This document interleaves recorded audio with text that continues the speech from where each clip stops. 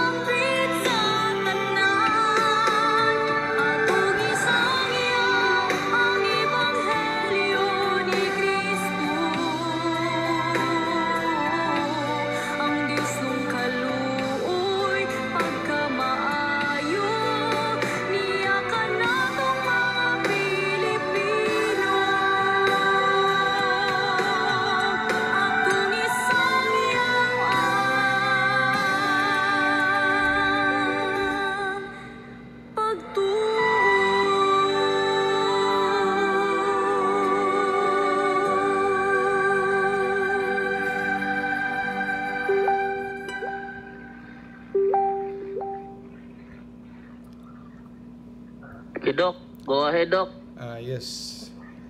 Unmute, Doc. Unmute. Ay, unmute day ko, no? Yun. Mayong udto, mayong hapon. Magandang hapon mga kapatid. So, dito naman tayo. Pagpatuloy natin sa topic natin, spiritual warfare. So, yung topic ngayon na pinili ko ay angelology and demonology. Sandali lang ha, iano ko lang yung and my keynote. Okay. Change ko lang sandali. Mm. Angelology. Okay, yan. Klaro. so, discuss natin ngayon yung fall ng angels. Uh, back to basics. Alam, I think alam niyo na to pero hindi ko pa sure kung sa mga bagong mga listeners, viewers kung alam niyo na. So just to make sure uh, review tayo. So tayong mga Pilipino likas na religious, no? Uh, actually um, matagal na na census 80% or 90% ng Filipinos are Catholics and Christians, no? Pero ngayon I doubt if 80 pa ba, no? Kasi marami nang nagja-jump ship uh, to other mga uh, Christian sects, no? At saka ibang mga uh, beliefs. So tayo ay likas na religious where actually si Father Alar nga eh no? Um, sa kanyang lecture he is an American priest he's a Divine Mercy priest very popular. Nanawagan siya no? Sa dalawang people in the whole world that is dear to him. One is Poland and the other is the Filipinos. And he asked those people in Poland and the Filipinos to pray for America because impressed siya because everywhere in the world there are Filipinas. Yung mga babae na yung mga nag sila yung mga active sa church sa Amerika. Nung pagpunta ko sa Amerika dati konti lang nagsisimba. Pero pag may nag, pag ka kahit saang simbahan sa Amerika yung mga mga workers doon mga Pilipina no? Mostly halos sa lahat ng simbahan sa Amerika kahit nung pagpunta sa New Zealand ganun din Pilipino ang active. So kaya ang faith ng Pilipino talaga ay very strong no? Um yun dito si eh, Palm Sunday ay ay nag ano ng kandila no? Nagsisindi ng kandila. We're so religious. And then merong isang uh, tourist tinanong siya hey how what do you think of the Philippines? Yeah I like the Philippines. Uh, this is the most friendly you know friendliest people sabi niya. Uh, hindi pa siya nakita ng napaka-friendly ng mga tao pero and I also noticed that pe- Filipino people are so religious. But I also noticed why the Filipino Philippines is so poor no? So yun. Bakit kaya uh, we are so religious we are so close to God but parang wala tayong asenso. Uh, anyway marami grabe ang ating poverty no? Corruption natin grabe rampant. Uh, a lot of sufferings killings no? And then yet we are so in all sa buong mundo I think tayo na lang ang natitira na walang divorce. Uh, yeah hin, ang divorce at saka yung abortion is illegal especially divorce tayo na lang ang natitira sa buong mundo yung Malta nag-cave in na eh. Yun ang second to the last na nag-cave in na, na legalize ng divorce. Ang Philippines na lang, no? So let's pray for that na hindi maano kasi nagki-creep nagki-creep up na naman yung mga congressmen na naglalabi ng divorce, no? So, why so much suffering, no? Hindi natin sinasabi na allergy tayo sa suffering, no? Kasi sabi naman talaga ni Lord, na if you want to follow me, you must deny yourself and take up your cross daily and follow me. And at saka uh, hanggang sa kamatayan natin talagang kambal natin yung cross kasi yan ang daan patungong kabanalan, di ba? Pero um, at saka hindi rin natin masasabi mga kapatid na pag mayaman ang isang lugar, malapit sila sa Diyos. No, it doesn't follow because there's a lot of wealthy wealthy nation who do not believe in God. So it doesn't necessarily follow kaagad na pag poor ay malayo sa Diyos. Pag rich, malapit sa Diyos. No, it doesn't. Pero may may punto yung tourist na nagsabi, bakit tayo poor, no? So this is a picture of a blood vessel. Uh, konting kaalaman sa health natin. Um, this is a healthy blood vessel yung sa mataas. No? Tapos, yung cholesterol natin, pag mataas yung cholesterol natin, nagbi-build up yung taba sa loob ng blood vessel. Yan ang picture ng isang blood vessel. No? So, kahit akala mo payat ka, wala kang, hindi ka magkaka-high blood, hindi magkakaproblema sa blood vessel mo, yung dinadaluyan ng dugo. Yun pala, pa konti-konti, nagbi-build up sa loob. Kaya maraming mga payat na bigla na lang natutumba, nag-heart attack, mag-stroke. Kasi yun pala ang taba na sa loob. So hanggang sa yung blood, hindi na makaka-flow kasi barado na. No? So, yan, may nag-block sa flow. May dugo, parating merong dugo, pero hindi makaka-function, hindi siya makaka-supply ng dugo. Bakit? Kasi may bara, no? So, ano bang bara sa grasya natin? So, parang may bara sa grace na dumadaloy. Parati ang blessing ni Lord andyan. Pero parang may bara. Bakit hindi makapasok sa atin? Kasi, meron tayong bara. Idolatry. No? We are breaking the first commandment. And among the Ten Commandments, mga kapatid, ang pinaka-importante ang first. Actually, sabi nga ni Father Corapi, uh, mga theologians sabi, kung naintindihan lang sana ng tao kung anong kalooban ng Diyos, actually the first commandment is enough. Pero kaya lang hindi natin masyadong pa naintindihan ang kalooban ng Lord, ng, ni Lord. Kaya binigay ang lahat para maintindihan natin. Pero pag if you really love God with all your heart, mind, and strength, no other gods before Him, it is already enough. Because if you love God, you will automatically love your fellow man. So, ang pinaka-importante yung first commandment. Pero ito ang pinaka always pa, parate para, parating na ano na natin. Especially sa ating mga Pilipino, ang culture natin, we are so ingrained, no? Naka enmeshed na sa atin yung culture ng animism, no? So,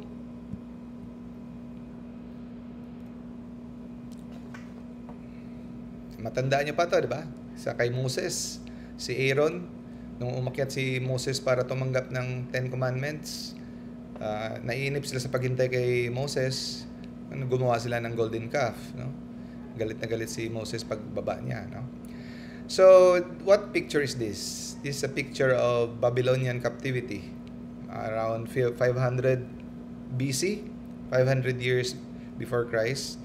Sinakop ng Babylonia ang Israel as a punishment because they already worshiping pagan gods, idols, no? They have been unfaithful. Every time na ang Israel ay maging unfaithful kay God and then starting to of worship other gods, anong ginagawa ni God? Na ano niya, uh, hinahayaan niyang masakop. So God would allow Israel to be overtaken by his enemies. No? So, ang tanong sa atin, uh, mga Katoliko nga tayo, we are professing that we are Christians, but how many of us are still have anting-anting? Uh, yun. Mga ilan pa ba sa atin ang nagpupunta sa mga card reading? Yung parati sinasabi natin, wala namang mawawala sa atin. No? Card reading, uh, makakapag-asawa ba ako ng mayaman, o kano, o ano ba, yung business ko ba, lalago ba pag pumasok ko sa business na to, na trabaho na to, no? Papa-card reading, palm reading, no? Uh, yun, ito, picture na to, sa labas lang to ng Quiapo. O, tinanong nga, eh, bakit hindi mapaalis-alis itong mga tao? Kasi outside of the church is not the property of the Quiapo church already. So they are, they cannot, uh, the, the, the, the priest, the bishop cannot do anything na papaalasin nila yung mga paglabas mo pala ng Quiapo Church, uh, makakabili ka na ng mga anting-anting, mga habak, mga potion, love potion, kahit ano, may nagpapareading, no? At saka, napapansin mo rin, paglabas din ng mga nagsisimba sa Quiapo, minsan ang iba, diretso din. It just shows na ang faith natin ay mixed, no? So, kaya, and remember, pinaka-importante ang first commandment. At saka yung iba sa atin, ah, easy-easy lang natin ang pagsuway nito, no? At saka, pag tinanong natin, I'm not, I know most of you who are listening na right now uh, know this already. But if you already know this, just memorize it na lang to teach others. Okay? So, listen in order to teach. Don't listen just to learn because you know this already. Listen so that you can teach this to your friends. And I know they will hate you at first kasi nakasanayan na nila. Dami naming nagiging mga nagagalit sa amin kasi we are so aggressive in preaching this. So, hanggang ngayon, ilan pa ba sa atin nag, pag may bagong bahay, nagpapadugo, di ba? At saka pag birthday, papadugo. Lagyan ng cross sa noo, no? Um, kahit engineer, no? Kahit mga high-tech na, mga mga professional nagpapaano pa sa mga building, no? Kasi tapos yung pinost ko to sa Facebook, ito, sabi ng classmate ko na engineer, sabi niya, hindi naman namin ginagawa yan para sa pa, para i-serve, para i-worship ang devil. Nagawa lang namin yan para to protect yung mga tauhan namin ng mga construction worker na hindi magka-aksidente. So sabi ko, yun pa rin yun brother. Kasi ah, natatakot tayo sa panggambala ng mga espiritu. Kaya we are in a way bowing down to them so that parang we are respecting them. So hindi pa rin pwede. No? So yung iba sa atin, no, matagal na sa simbahan pero hindi tutuloy sa pag-alis. Ay, alam, merong itim na pusa, baka buisit, no? Baka ma-disgrasya tayo. Or, hala, nakadaan tayo sa ilalim ng hagdan. Hindi po pwede. Yung iba, oy, namatayan, hindi pwede magwalis. Wag wag bumili ng asin paggabi, wag bumili ng sinu ng sinulid paggabi. Dami nating mga ano, kaya blockade naka, naka-block yung blessings ni God kasi uh, we are not relying on him, no? Hindi tayo sa kanya lang talaga umaasa. Meron pa tayong mga kung ano-ano pang mga ano, tapos pag nakagawian na natin pumunta sa mga albularyo. Wala namang masama na gusto nating gumaling. Ah, at saka karamihan din sa atin inosente. Hindi naman natin ginajudge sila na pag sa albularyo. Kasi isa pa, mura ang albularyo. Doktor, napakamahal, lalayo. Eh yan, minsan kapitbahay mo, may alam na niyang nakakapanggamot siya. No? Hindi natin mabiblame. Pero hinay-hinay natin i-educate yung tao na ito mga albularyo na to, ah, karamihan sabihin nila, eh, yung mga albularyo na pinupuntahan namin, may Santo Niño pa, may Jesus, may Mama Mary, napipray ng Our Father, Hail Mary. Masama, hindi naman masama yan. Ah, actually, may mga Our Father talaga lahat yan. At karamihan sa kanila katoliko. Kaya lang, kahit yung mga albularyo mismo, hindi inosente din sila. Hindi nila alam na ginogoyo sila ng fallen angel. Kasi yung panggagamot, nakakagamot sila. Yung mga totoo ah, totoong albularyo, may mga peke naman eh, nagpapanggap lang. Pero may mga totoo talaga albularyo, nakakagamot. Pero hindi nila alam, yung panggagamot nila, hindi nila kapangyarihan yon Kapangyarihan yon ng fallen angel na pumapartner sa kanila. Ang gumagam ang gumaga ang gumagamot yung fallen angel. May amo sila, no? So, yan. Uh, every time na pumupunta ka sa albularyo, kasi fallen angel yan, hindi lang yan isa. Libo-libo yan. So, ang pasyente, pag nilapit mo, ito, nakagustuhan ng, nakagustuhan ng inkanto. Tapos, ilalapit mo. Gagaling yan, temporary. Gagaling yan. Nakakagaling ang ano. Pero yung galing niya, temporary at saka moron showbiz ng demonyo. Nakagaling ang demonyo kasi they are powerful, they are fallen angels. Pero may kakapit. Every time na bumisita ka sa albularyo, may kakapit na demonyo sa iyo. At saka, it will reach, it will come to a point that it will reach a critical level that harassment will start. May, may naririnig ka na, may nakikita ka na, it will come to a point, demonic possession na. No?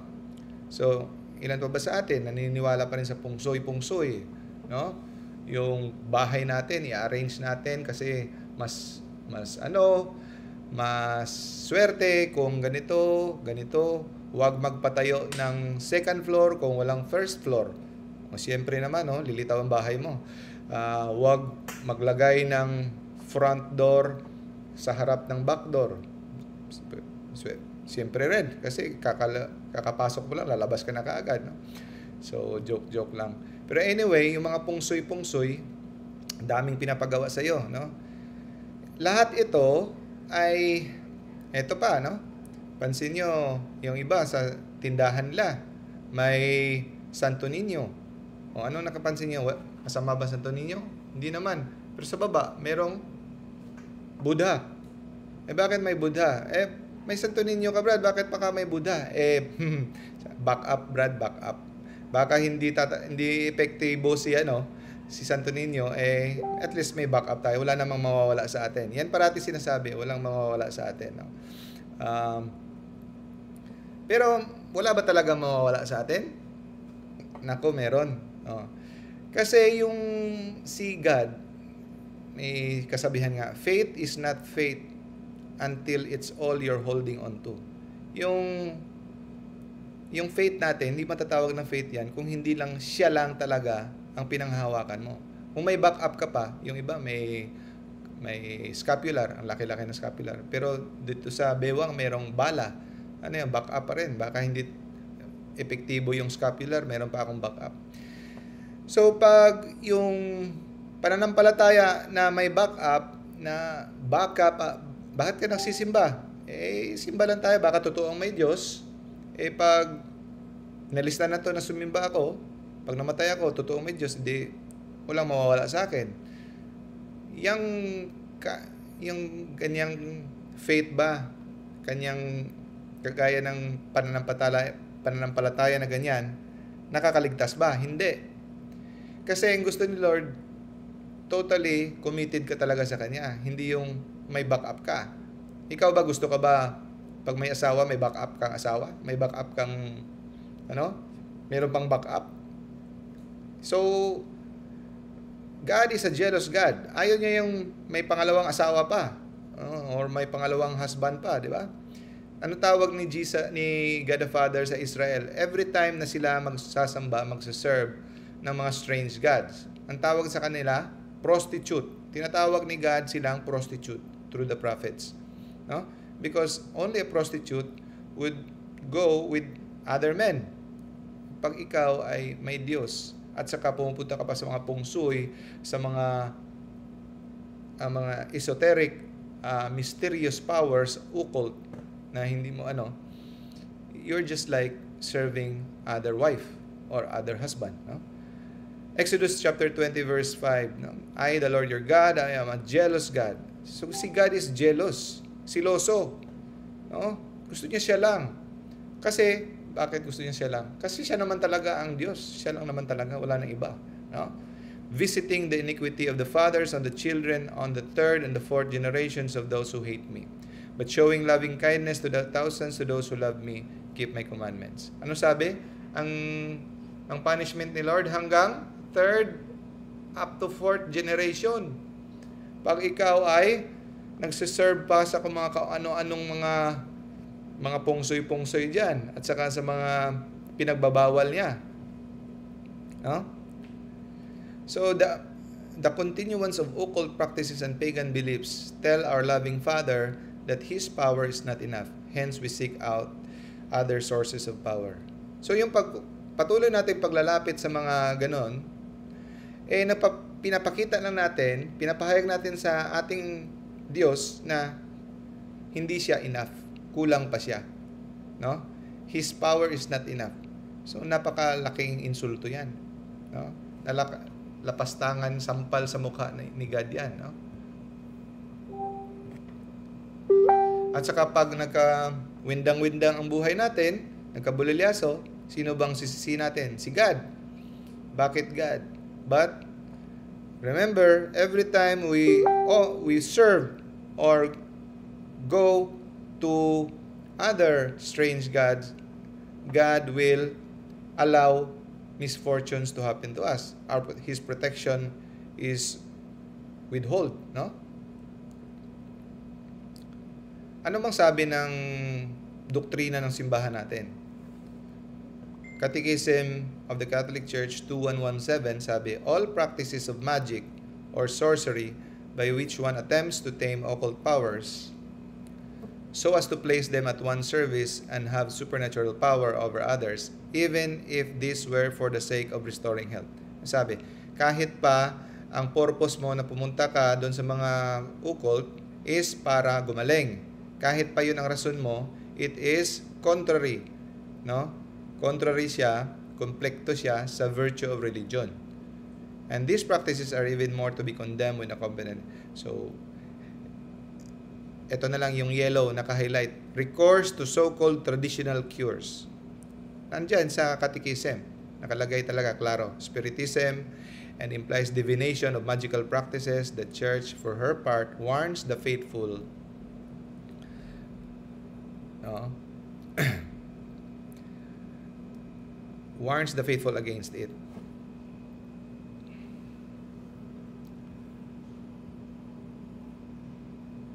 all forms of divination are to be rejected.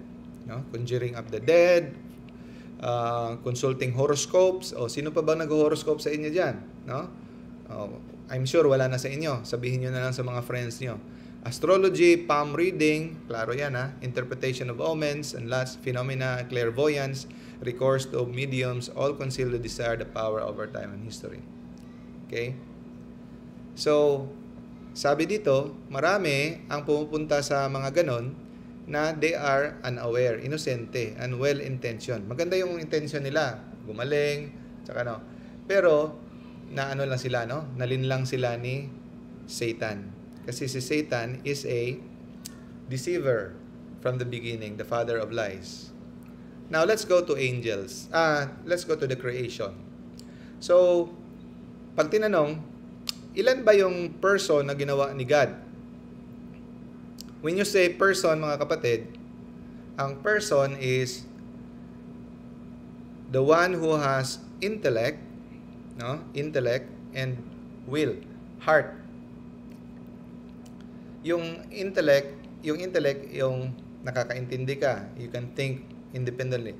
Yung will, may kalooban ka. You have the decision to do what you want, no? You can decide for yourself. You're not a robot. Intellect and will. So, yan ang person. Ang animal, hindi siya matawag na person kasi wala siyang uh, intellect. No? Tsaka wala, rin siyang will. The animal works on instincts. No? Kahit may mga matatalino pang mga animals, they just work on instincts. So, ang person na ginawa ni God, hulaan nyo, ilan? Dalawa lang. Dalawa lang ang person na ginawa ni God. Una, angel. Pangalawa, tao, man. Dalawa lang. Eh, paano yun, Brad, yung mga ano? Yung mga engkantada, mga kapre, yung mga white spirit, mga good spirit, di ba ginawa ni God yan? Sinasabi pa nga ng iba, di ba sa prayer natin, He is the maker of all the visible and invisible. O di ginawa ni God yan? No. I-explain ko yan mamaya mga kapatid. Okay? Saan galing yung mga engkantada, mga invisible na yan? At saka yung sinasabi nila, huwag natin silang gambalain kasi harmless spirit naman sila. Actually, ginawa ni God, dalawa lang, hindi tatlo. Hindi siya gumawa ng inkantada, hindi siya gumawa ng mga in-between. Dalawa lang talaga. Okay? Catechism 101. Angel at saka man lang. Okay? Klaro? Okay. So, eh, sandali. Ah, ah, okay. Sige, patuloy natin. What are angels? Ano yung angel? Ang angel ay created spirits without body. Wala silang katawan. So, spirit lang sila. Pure spirit. Eh, bakit sa picture bang Brad may katawan? Oh, ano lang to? Drawing lang yan ng artist. Pero sa totoo, wala talagang katawan ang ano. Walang, they are pure spirits. Like God. They don't occupy space. They don't have mass. Walang kaliwa, walang kanan, walang taas, walang baba. They are pure spirits, no? But they have understanding and free will. Hindi sila mga robot. They can decide for their own. So, each angel is its own species. Imagine, kada angel ay different species. Tay, tayong mga tao, alam mo, anong species natin? Homo sapien. Anong yung mga cats? Anong species yan? Feline. An, yung mga dogs, anong species yan? Canine.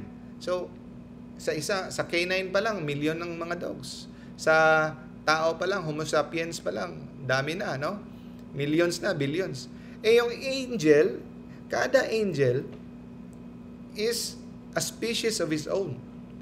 Saan ba to galing tong mga pinagsasabi ko? Galing to sa ano, no? Ah, ni Saint Thomas Aqu- Aquinas, the angelic doctor. Halos lahat ng mga lecture about angels galing sa kanya. So, angels are spiritual beings superior to man. So, they are so powerful. Sabi nga eh, kahit ilang bilyong tao magtitipon-tipon, makipagdima, makikipagdigma sa isang angel, hindi uubra ang mga tao. They are so powerful, angels. Okay? So, ano kadaming angel? Uh, we don't know the number of the angels, but we can infer, we can understand, surmise in the Bible that they are so many, many, many. No? Ah, ang mas marami pa sila sa tao. Okay? Imagine sa gar- yung guardian angel, kada tao may ginawa si God na partner na guardian angel. Hindi nire-recycle ang guardian angel. So, yung tao, pag ginawa ni God, may isang guardian angel. So, im- imagine mo since the beginning of time, may mga namamatay na, may sa future pa, may guardian angel yan, so ilang bilyon na ang tao. Guardian angel pa lang yan. So, and we know that angels have nine levels. So, sa level pa lang yun ng guardian angel. Okay. May bakit ba pinapakita yung mga angel in a human form? Kasi, when they, ano, when angels and devils appear to men, they assume human form. Some of them, animals, some of them are, no, mga people. By the way, yung animal ba, pag tinanong nyo, mga animals ba, may kaluluwa ba? Meron, ba, meron bang soul ang animals? Yung mga plants, meron bang soul? Ang sagot, yes. Ang mga animals, mga plants, any living beings have soul. Pero anong difference nila sa man? Ang difference sa man, kasi yung soul natin is made up of spirit. Ang spirit at saka soul magkaiba. Yung spirit is just like the spirit of God, spirit of the angel. No? Body and spirit.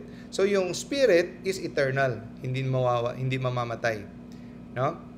So kaya nung sinabi ni God, let us create man in our image and likeness, he meant our spirit.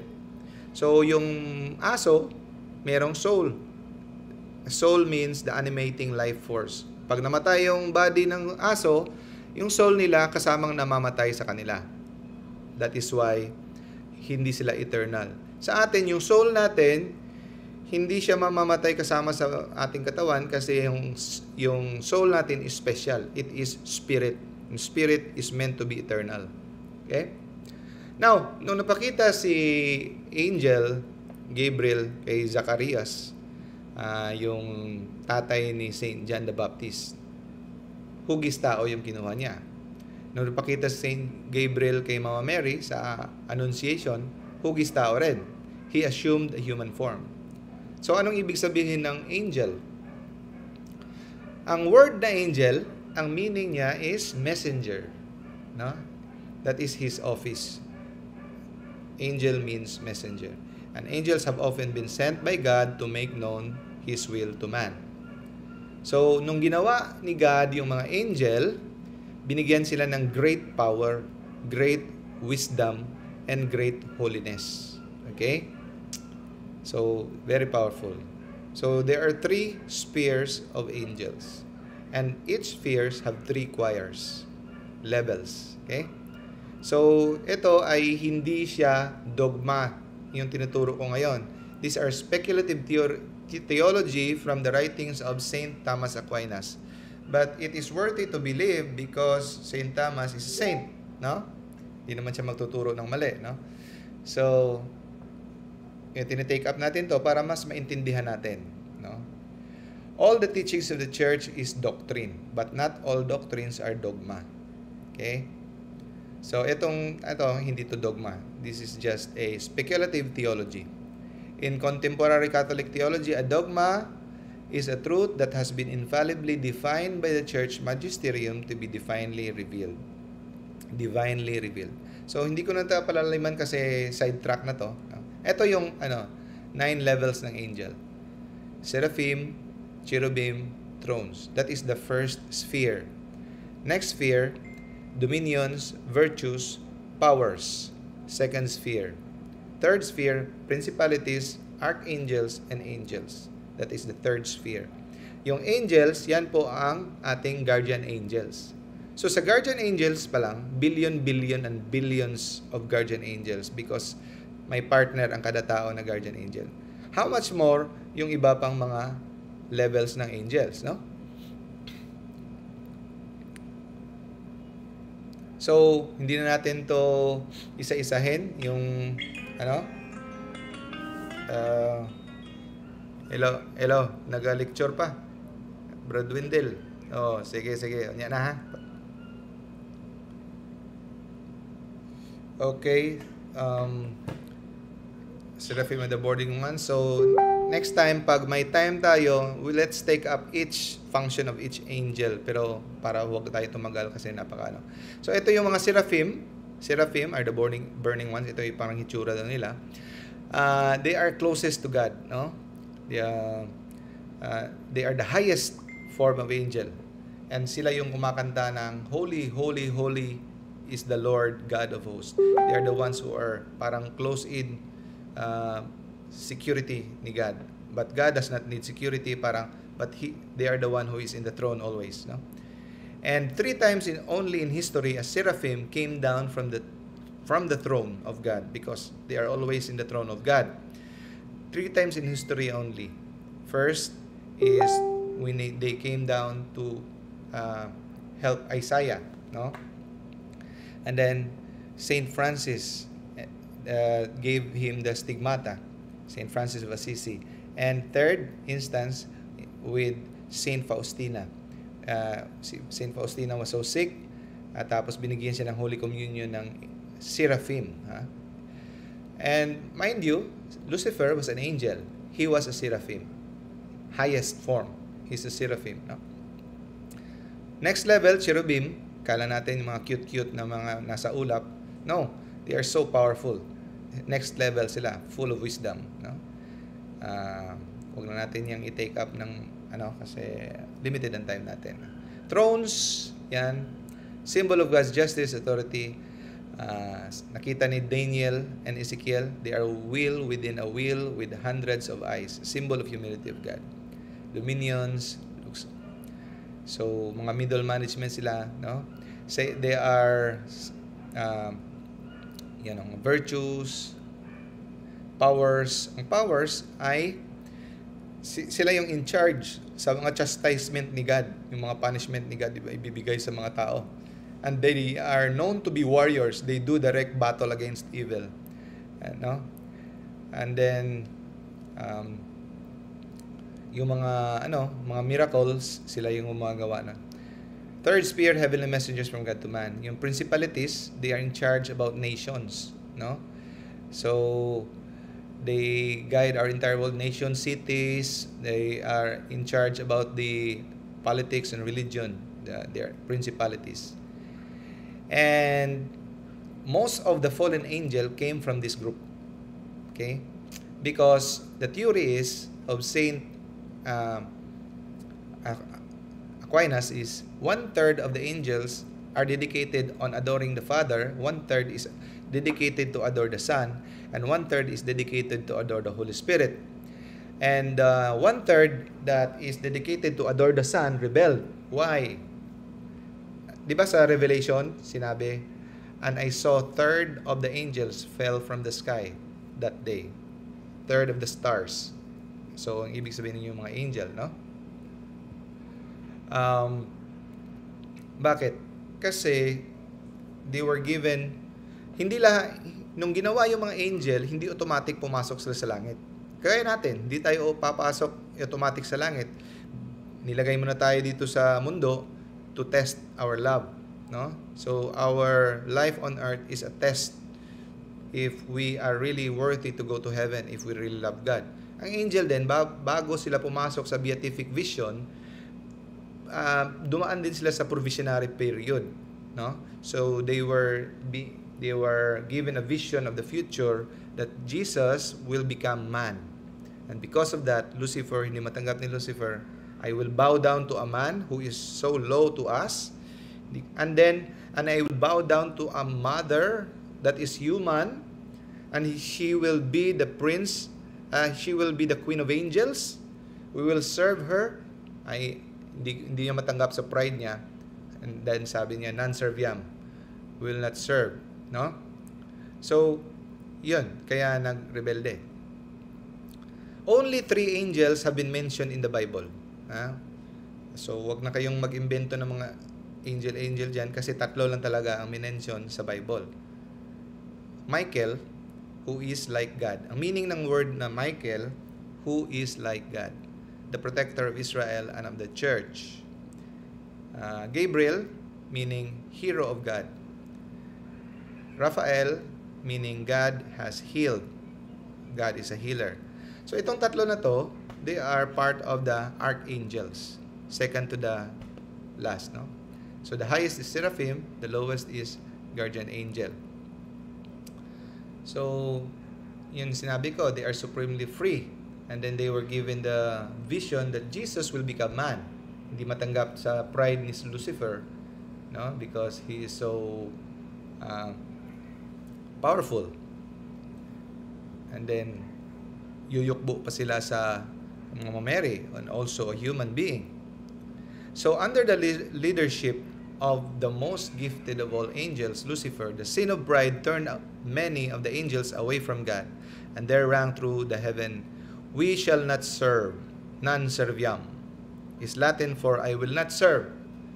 The phrase is generally attributed to Satan, who is said to have spoken these words to express rejection to serve God in the heavenly kingdom. No?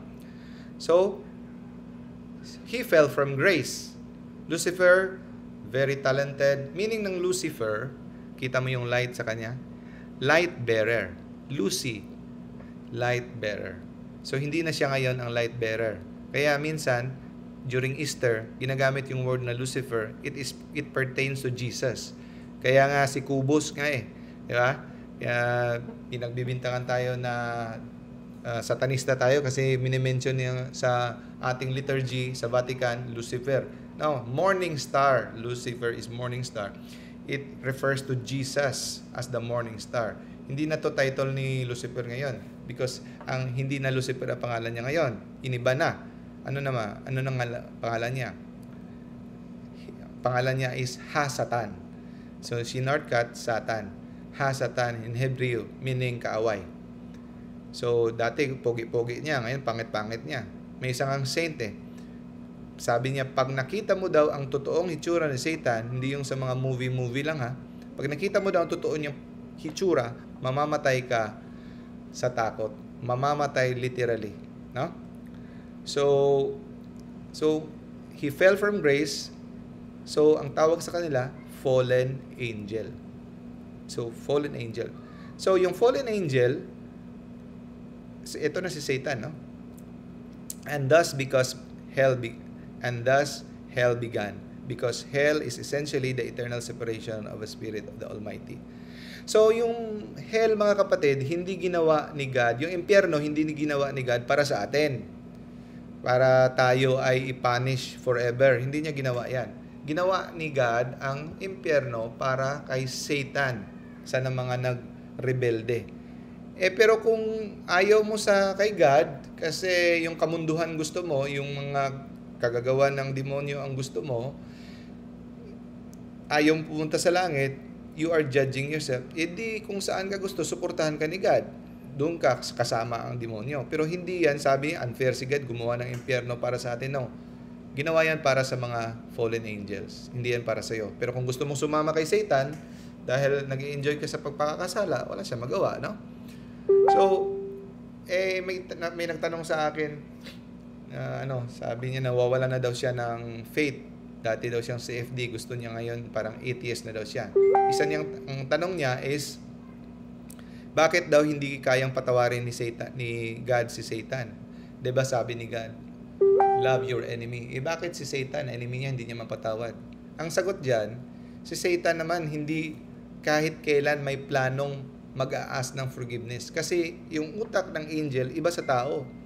The because of the perfect clarity of the angelic minds and the unhampered freedom of their angelic wills, see of God could find no excuse for the sin of angels. So, kahit bigyan po sila ng ilang chance, never magrepent si Satan. Kasi si Satan has fixed his angelic minds to hate God forever. So, ngayon, Satan is very powerful. So, nung nagrebel siya, kasama yung mga kampo niya, yung ibang one-third of the angels ah, of the heaven, sumama sa kanya. Imagine how many billions are that? No? Sabi nga ni Padre Pio, is ang angels, ang demons are invisible, hindi makikita. Pero pag ginawa daw ni God na visible at saka lumipad din sila sa langit, matatabunan ng sun sa kadami nila. No? So, ang tanong, binawi ba ni God yung power ng mga angels nung nagrebel sila? Ang sagot, wala. Hindi binawi ni God ang mga power. Because that came with their nature. Si God hindi siya bumabawi when it is part of your nature. He can he can pwede niyang bawiin ang gift, yung pwede niyang ibawiin ang mga blessing, pero hindi niya pwedeng bawiin yung part ng nature natin. Kagaya ng nature natin, we have an intellect and will. Hindi niya pwedeng bawiin yan. So yung power ng angel comes with him. Hindi niya binawi. Kaya napakadelikado ng demonyo kasi they are still powerful as just like before na angel pa sila. Kaya lang ngayon, ang lahat ng kapangyarihan ng angel, ng fallen angel or demons, ginagamit na nila para makadala ng tao sa impyerno. That's their mission in life. 24 hours a day, 7 days a week, walang tulog. Makakadala lang sila ng isang kaluluwa sa impyerno, masaya na sila. Kasi dyan sila nakakabawi kay God. Kasi gusto nila masaktan si God. Paano nila masaktan si God? May isang anak niya na hindi makabalik sa langit. Di ba nilagay dati niya ni God tayo dito, provisionary, para bumalik tayo sa langit. Pag hindi tayo nakabalik, trophy kay Satan yan. So, kaya nga, mga kapatid, galit na galit galit si God pag yung mga kriminal, tinokhang natin, papatayin lang natin sa salvage natin. Kasi, sigurado hindi makakapag-confess yan. Para tayong nagko-cooperate sa kay Satan na maimpyerno siya. Hindi na siya makarepent. No? Kasi, bakit ba yung sinasabi natin, bakit ba itong mga congressman ng mga grabe gahaman ng mga korap, bakit ang tataas ng mga buhay, yung mga makasalanan hindi pa pinapatay, yung mga mababait na mga pare na mamatay una, eh hindi yung mga mga walang hiya. Kasi si God ganun. Gusto niya to give chance to repent. He because God is mercy. No? So, if God assigns to each person a guardian angel, Satan assigns to each person a destroying devil. Yan. Take note of that. Kaya parate, magkabilaan. No?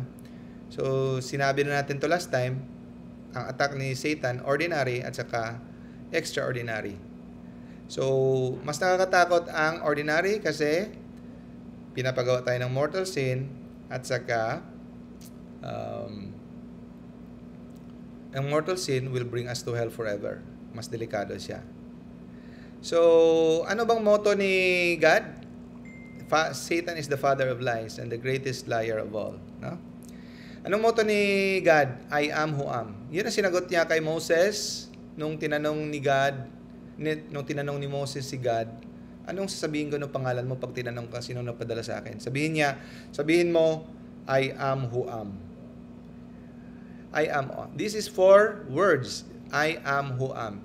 Sa Hebreo, this is uh, pronounced as Yod He Vav He. Yod He Vav He.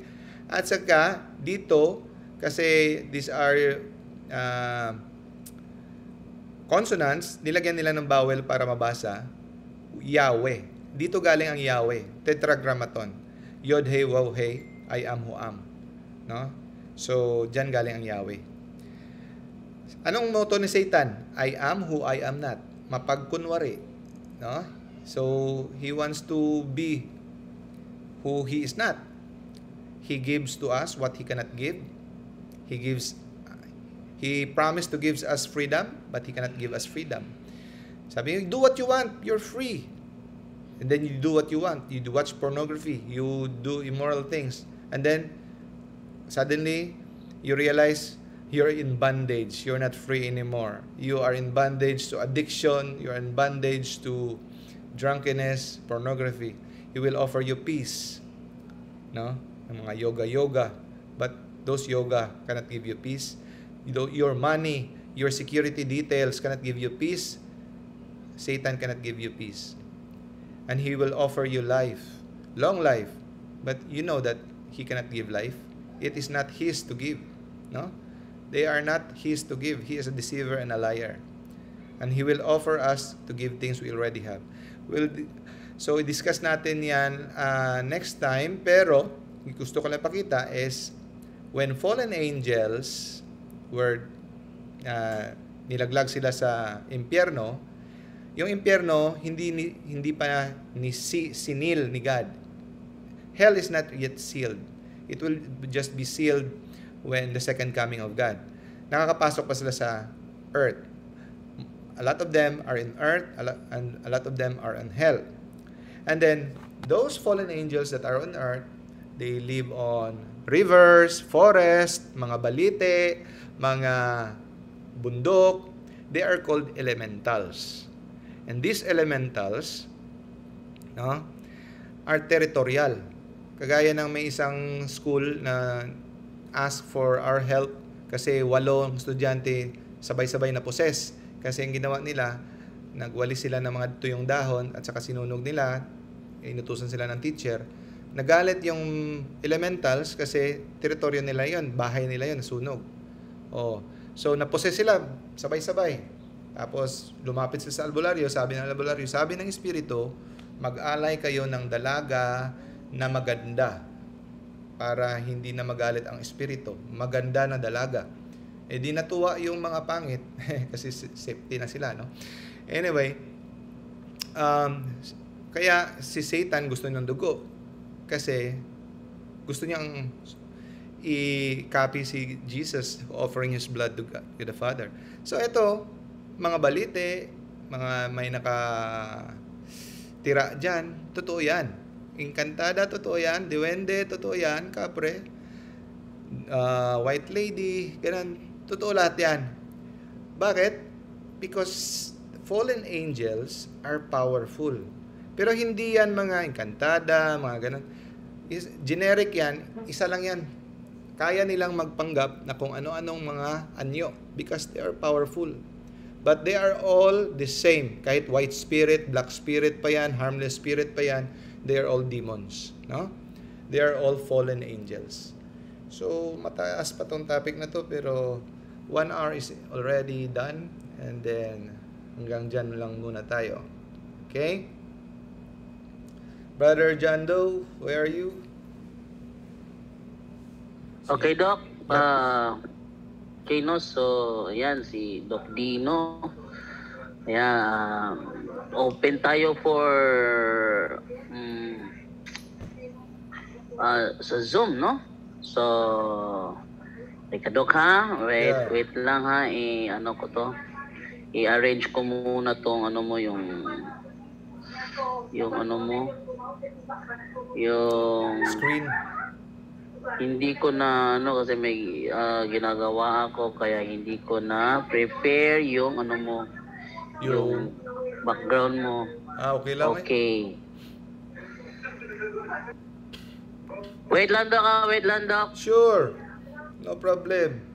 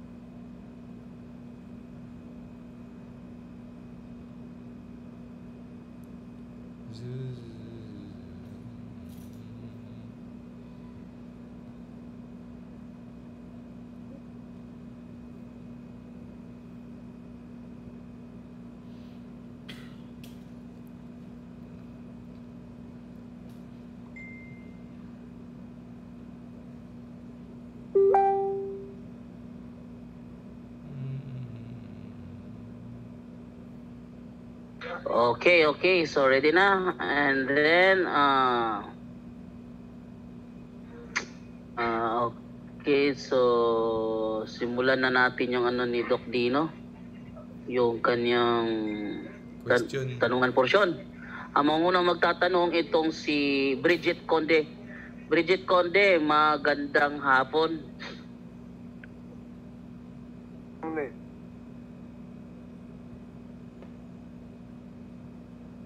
Hello, Hello. hello brother Dino. Yes, bro. Tanong ko lang po yung ano tungkol sa yung, sa Freemasonry kasi yung dito sa ano namin may yung lulo ko mismo Mm. Freemasonry. Tapos doon ko kung na-cut nila yun kasi may chewin akong pare din. Ano sa OER na order. Tapos nalaman ko yung tito ko na doktor Freemasonry din siya. Mhm. Pero hindi ko alam kung mabasa pa nila yun. Ano ba yun? I, considering na pamilya kami, ano rin yun? I, tawag doon, i, renounce. Renounce, pwede ba yun? Oh, renounce. Oh. Isama na lang yun sa renouncement ng mga occult, mga pungsoy-pungsoy. Mhm. Pwede rin ako, mag, ako lang mismo mag-renounce doon sa may box na ano kay Padre Sikia. Ah, bali i-renounce mo i, ano, in behalf of them? Ay, bali kasi meron kang ano, meron kang mga relative, ganon. O yung I-renounce. lolo ko mismo. O, Yan, oh. Pwede, yung pwede. father ko, hindi, Yung father Hindi mo? siya napasahan doon. Hindi, hindi yung yung lolo ko. Grand, Ay, yung lolo mo. Grandfather. Ah, grandfather. Oo. Oh. Oo. Okay. Yun. Pero parang asa niya sa anak niya na doktor. Pero yung papa ko hindi. Mm, okay. Usually yung tanong, yung papa saan ko hindi niya tinanggap. tinanggap. Mm, okay. Ano, Buhay pa grandfather mo? Sa, Mm, patay na po. Ah, Tagal thank na. Pati yung chewin ko na ano, ah, Oo. So, nagawa Pwede mo na na, yan, eh, nagawa mo na yung re- renouncement, brother? Nagawa mo na? Ang pag-renounce? hindi pa po. Ay, hindi pa. Meron kang libro ni Father Kasi Sikia. mayroon. Meron din, mayroon. Ah, okay. So, gawin mo, Na bro. Mm. pwede na akong mag ano, po si Yes. Oo. Ilibig ko lang yung ano yung mga items na ano no, yung nadala ng mga tunaryo dati ba Ah, meron silang ano? Meron silang kanang mga mga paraphernalia na iniwan sa iyo? Wala, wala silang ano, wala silang iniwan. Pero yung ano ba, yung mayroon din kasi tayo yung sabi mo na napunta tayo ng Apolario dati. Ah, ganon. Mm. Tapos mayroon din yung Oo. Pungsoy practice. Kailangan Oo. talagang i-renounce. So, pag Oo. may duda ka, mas mas maganda nang makasigurado. Nandun naman Mm. lahat doon sa booklet, i ano na lang, mag-renounce ka. Pwede ka naman mag-renounce kahit ikaw. Oo. Uh, kung silibing sa malayo o pwede sa cementerio. Ano yung mga- ano yung ililibing? Yung mga habak-habak? Oh, box ka, yung pungsoy mga figurine, mga ganon. Mm, merong ano diyan, Brad, may proper talaga na pag-dispose. Hindi lang siya Oo. ilibing, mas magandang sunugin. Pero ano yung messenger mo? I-send ko sa iyo mamaya kung anong proper way na pag-dispose. Ah, ano sige, pangalan mo sa messenger? Bridget Ah, Conde? Ah, pwede na rin kasi sa anak ko. Oh, ipadala ko sa sa anak iyo ko yung link na ano kasi may proper talaga na way kasi na, na pag-dispose. Padala ko sa iyo yung link na ano, Mm. para instruction paano. Oo. Yun. Tapos mayroon din akong, akong tanong, yung mga, minsan, yung mga rebuto na, na nabasag, pwede rin isama na yun? Yung basag na mga rebuto? Yung basag na rebulto, iba rin ang pang yung rebulto na mga holy, holy na mga Oo. rebulto, iba rin ang paraan. Huwag mong isama doon sa Ah, mga o- occult Ah. oh, kasi iba rin 'yon. Holy 'yun eh. Iba Oo. rin. Oo. Pwede rin ako mangingi ng guidelines doon sa, ano, Oo. sa, bas, holy, sa mga holy sa, objects Ano, oh, on paano mag-dispose. Sige, send ko sa iyo, bro. Ah, okay. Thank you. Sige, Dr. brother. Sige. Okay, next na magtatanong naman si Sally Castro. Sally Castro, good afternoon. Unmute ma'am, unmute. Click unmute. Oh, yung ask to unmute. Please, click unmute.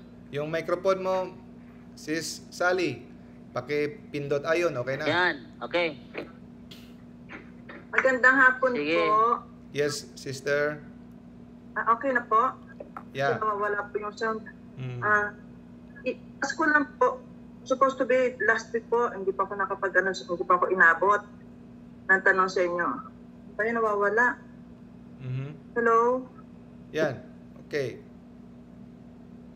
Sige po, sige po, continue po. Bali, na, nasabi niyo po kanina na nandito pa po sa ang yung mga devil kasi hindi pa nas, nasasara yung ano nila. Yung ito. impyerno, hindi pa sealed. Opo. Yeah. Opo, nakas, sa ano pa sa next coming pa ni Lord masasara. Pagdating sa second coming ni Lord, yon doon na isasara, sealed forever. Hindi na sila makakaano because meron ng new So, heaven and new earth. kaya nga po doon pa lang. So, so ibig, ibig po sabihin na di dito po talaga sila. Oh. Ganon din po ba sa mga bahay-bahay? Yeah, meron. So, it depends on their concentration. Lahat, na, nandyan sila to tempt us. No? Nandyan sila. Pero, they are limited ang kanilang action kasi we are protected by God and by the blood of Jesus and by our guardian angel. So, hindi sila makakapinsala sa atin. Pero, they are allowed to tempt us they are allowed to tempt us. Pero yung pinsala, physical harm, uh, limited unless unless kung bibigyan natin sila ng pahintulot. Mabibigyan natin sila ng pahintulot at saka mga doorways pag ginawa natin yung pagpumasok tayo doon sa mga occult practices. Binuksan natin yung may binu, may binubuksan tayong gateway para sa kanila.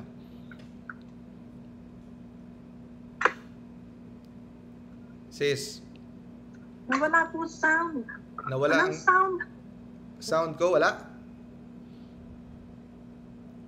Naririnig, do you hear me? Talagang pag-spirit po yun. Tapos, hindi na po ako nakakaano, para, parati-parati na po siya. Matagal ko na rin po ito i-ano sana kay Father Darwin. Kaya lang parati po sinasabi na kailangan parati po talagang may kasama pag, pag nagpa-deliverance. Eh kaso ako lang po nandito tsaka yung apo ko. Eh yung anak ko naman po, hindi rin po pwede kasi nagpa-convert ng Muslim. Mm. So, ayun nga po ang nangyayari sa akin. Masyado na siya, masyado na siya, masyado na niya akong ginagambala. Dahil sa gabi, natatakot po ako na baka one time, katulad nung nangyari nung nag-work pa ako, nung nasa rural area ako is, is merong gustong umano sa akin, parang gustong mang-rape, ganyan. Nagpangbuno po kasi kami noon. Talagang gusto niya ako makuha. So, ang nangyari po, dahil sa hindi niya ako nakuha, dahil nakaganyan po yung paa ko, nakakross, tapos talagang tinutulak ko rin siyang ganon, ganon. So, hangga, kumbaga, pinitiwan po niya bigla ang kamay ko, tapos ginano niya yung dalawang bus ko Mhm. sa daddy po. So, Mhm. matagal po hindi yung kasi sumakit. Sakit po kasi. Masakit po siya. Tapos, ah, matagal. Tapos kung saan po, minsan po, kung saan po akong lugar na naririnig ko, may tumatawag sa akin, pero pagtingin ko, wala. Ngayon dito sa bahay, parati ko na, ah, ano po, hanggang ngayon, yung parang may mga, basta na lang dadaan sa akin, kaya tutusukin ako, tapos yung amoy dito sa banyo, parati pong ganun. So, Kaya para po ako natakot na talaga, ayun na po talaga ba kayo? mm, demonic harassment So- talaga, no? So, ah, na ano niyo na po, na, na, na-analyze niyo na po kung bakit may ganon sa tingin mo, ano kayang mga posibilidad na bakit sila nakakapasok sa buhay mo? May na ano mo na, na-investigate niyo na po? Opo, dahil sa medyo napalayo po ako. Tapos hindi pa po ako nakakumpisal dahil sa bawal po sa amin, lagang sinod po ako. Hindi po kami pwede magbas na masyado. Mm, okay, okay. Last week pa lang po ako nakasimba. Mm, kasi Uli. COVID. Oo, Pero mahirap. before nung second lockdown, nakakasimba na po ako. Ngayon Okay. pa lang po, hindi na naman uli, one time pa lang po uli kasi medyo ngayon pa lang, medyo lumuwag ng konti. Pinaluwagan ng konti ng Cavite. So, kailan yung So- kailan yung ano sis? Kailan yung last na atake sa iyo? Mga ngayong linggo merong atake wala? Halos everyday po yung parang may nakikita po ako na Mm. basta na lang dadaang ganyan, biglang Mm. mawawala. Tapos nandiyan one time pa, the other day lang pa po ba yun o kahapon o ah, nagbubuhos po ako ng mainit na tubig sa thermos, parang biglang may itim na tumalon sa akin. Pero pagtingin ko ganyan, nakaiwas ako, pero wala naman. Okay. Tapos yung pag nandiyan po ako sa kusina, naghuhugas ng pato o whatever, may talagang dumadaan po ganyan sa paa ko. Mm. Pinapadaman niya sa akin na dumadaan ganyan. So mag, mag nagro-rosaryo ka everyday sis? Rorosaryo ka, makakatulong talaga. Nagro-rosary po ako. Every Yun po, day? hindi po siya masyadong ano, dahil minsan nga po nag-aaway po kami ng anak ko. Mm. Pagka sa ano po namin, sa handmade, meron po kami rosary ng 7.30. Mm. Eh minsan, dumadating na po anak ko noon. Eh Mm. medyo na, nag-aaway kami. Sabi niya, ayun na naman, sinasabi niyo na naman sa ano, pagkain. Kasi nga po, nagpa-convert po siya ng Muslim nung napunta po siya ng Saudi. Mm. At ayun, ayun nga po, inaano ko doon, sinasama ko sa handmade. Kahit hindi po ako na masyado nakakarating. Sana, Mm. naano ko na sana, huwag alisin yung pangalan ko sa rosary doon. Mm. Dahil pinasok po yung anak ko na magbalik katoliko. E dati po siya nagsaserve sa simbahan as a Christ, ano po yung sa Christ. Pagdasal natin yung anak mo. So anyway, Yung nasa buhol pa po. um, ngayong pandemic, may binigay na special na pahintulot ang simbahan natin dahil hindi pa tayo makakalapit sa pare sa pag-confess. Uh, you you can ask forgiveness to God. Uh, mag-confess ka kay God and then if your contrition ay yung taos puso na nag-ask i-confess mo lahat kung ano yung mga pinagagawa mo sa past the sanctifying grace will come to you no? You will be forgiven. Kasi special case ngayon eh emergency situation. Kasi hindi ka makakalapit sa pare kasi COVID. Um, tatanggapin pa rin ni God yung confession mo. Provided na pag wala na yung COVID at saka may chance ka na na lumapit sa pare, as soon as possible, punta ka talaga sa pare to have a sacramental confession. Pero ngayon, it's not an excuse na ay kasi wala pang pare. You can already you can confess to God kasi special case ito ngayon eh. Kasi pag naka-confess na kasi tayo, yung hold ni Satan sa atin ah luluwag. Hindi na siya makapag-hold sa atin kasi Satan is very legalistic, no? If we have mortal sin, meron siyang power over us. So, sabi nga ni Father Sikia eh, ang confession, nasa ni Father Amort, ang confession is more powerful than deliverance and exorcism. Confession is more powerful than deliverance and exorcism. Kasi wala nang hold si Satan sa atin pag nag-confess tayo. So, just believe, no, trust that in His mercy, that He will forgive you if you repent. Repent talaga from the heart, no, na per- with perfect contrition out of love for God. And then, as soon as possible na makakita ka na ng pare, you go to a priest to ask for con- uh, sacramental confession. And then, rosary every day, sis. Kasi yung parang ni parang may gustong mag-rape sa ang tawag diyan incubus, no? So it's a demonic spirit that preys on female victims, no? So malalim-lalim na 'yan yung incubus. So rosary, Nga po, pag nag pag nag-rosary din po ako, minsan parang nararamdaman kong may dumadaan. 'yun. Eh gagawin talaga nila 'yan kasi ayaw nilang lumapit ka, no? Eh, hinaharas ka, tinatakot ka. Huwag kang sumuko kasi sometimes it will take months, sometimes it will take years. Ah, etong experience mo sis is inaalaw ni God para maging banal ka. No? To make you holy. So it is a parang cross mo to ngayon pinapasan mo. Matagal mo nang dinadala. Basta wag ka lang sumuko. Always pray. Huwag ka ma-desperado na. Tagal-tagal ko na nagpe-pray, Lord. Andyan pa rin sila. Nakikinig ka ba? No. Just continue what you're doing. Pray always. Uh, trust God. Ask the help of Mama Mary. No? And confess. Yan. Kasi nga po, hindi, ko na, hindi na ako nakakakita ng taong ito. Dati po kasi nakakakita ako. Mm. At least nababawasan na, di ba? May improvement na. Tapos ano po kaya, bukod sa prayer, meron pa po ba akong pwedeng magawa? Eh, kasi ayaw po, hindi po pumapayag sa Father Darwin na wala po talagang kasama. Mm. Yan, mahirap yan kasi sino naman yung kukunin mong kasama kung wala ka talagang kasama, no? Oh. So, so yung mga ano, yung mga deliverance prayer, continue mo yan. May booklet ka na ba? Ni Father Oh? Sikia. Yung booklet ni Father Sikia. Wala po ako anything from sa okay.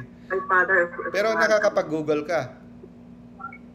Meron kang internet, Sa no? YouTube po, umaano lang po ako, tinitingnan ko po yung Prayer of Deliverance by Ah. Father, by Father Dar- Darwin, yung Ah. plano niya kay Father, Oh. ano, Kahit yung mga yung mga prayer, i-type mo lang sa Google, i-type mo lang sa Google, no? Spirit uh, deliverance prayer, no? Spiritual deliverance Catholic, lagay mo lang, lalabas na sa internet. Ah, minsan kahit hindi mo na bibilhin yung booklet, andun na lahat yung mga prayer, i-pray mo lang 'yon, no? Saka importante, pag nag-pray ka ng deliverance prayer, dapat wala kang mortal sin in your heart. You have asked for repentance. Kasi ah, hindi tatalab yung mga deliverance prayer pag pinray natin siya na para lang chanting na anting-anting. Dapat ang heart natin talaga is malinis. No? Na yun.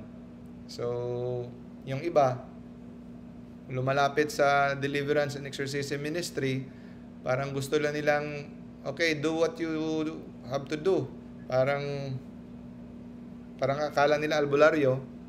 Hindi. Dito sa deliverance ministry, ang pasyente talaga magko-cooperate. Yung buhay talaga babaguhin. eh. So yun ang goal talaga ng deliverance and exorcism ministry, yung buhay natin magiging banal. So hindi lang yung goal natin mawawala yung mga panggagambala sa atin na yun, solved na, no? Ang gusto natin, yung kaluluwa talaga mapunta sa langit, no? magiging santo. mga Ayun. Sige sis, we will okay. pray Okay for you mo sis. Pray natin. Pray natin yan. Especially yung anak mo. Okay. Thank Salamat po. Okay, thank you, Ma'am Sally. So, Santo. Send ko rin sa iyo mga Next. prayers, Sally. Sally Castro. Okay. Okay, so, wala next tanong? na- Pwede na akong mag-exit? Sally O- Castro. Next na magtatanong naman, may... Okay. Ah, Doc? Oh, hindi. May, may magtatanong pa? Okay, okay. Mayroon, mayroon pang dalawa, Doc. Natitira, Doc. Oh, sure. Sige. Okay, Melody... Melody Suarez. Magandang hapon.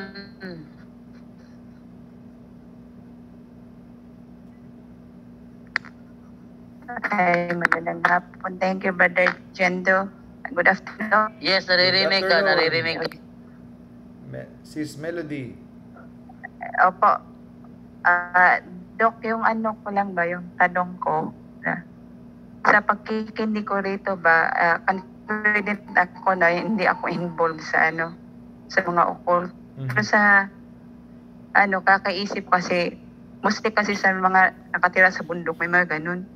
Mhm. So nag nagtatanong ako sa Sir in Locan doon sa Canada tapos tanong ko may mga orasyon ba yun sila si nanay si tatay? Sabi niya, opo, binabasa daw nila. Mhm. Sa maliit pa daw sila, binabasa daw nila. So ngayon, Dok, yung ano ko, tanong ko, ah, may possibility yung mga anak ko, maaro din sila doon? Or ako?